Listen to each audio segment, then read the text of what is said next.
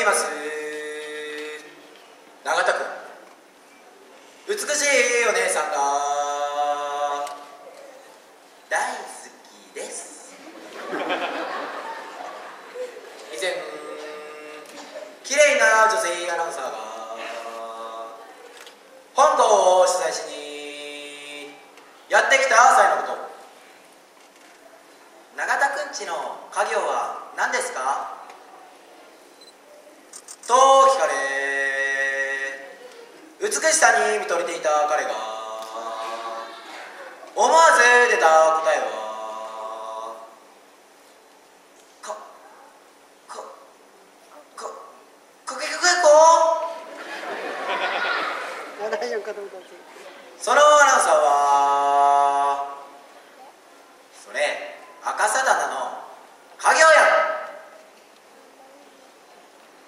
と言って去ってきました残念そんな美女大好きくんが行います演舞。人生の因は我が人生学園の生徒を勇気づけ美女に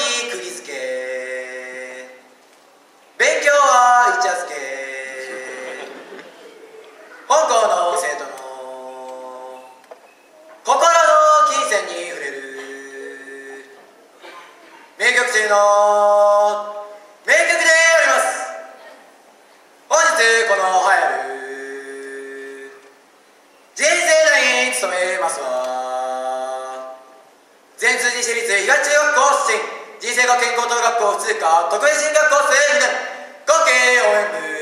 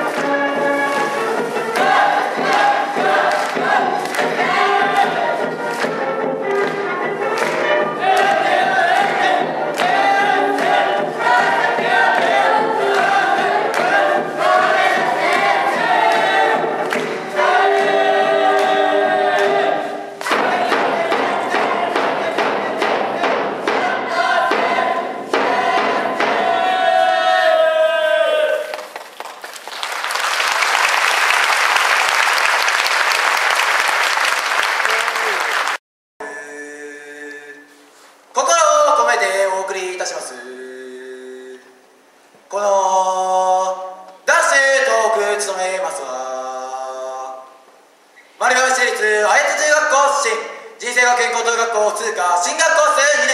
今期応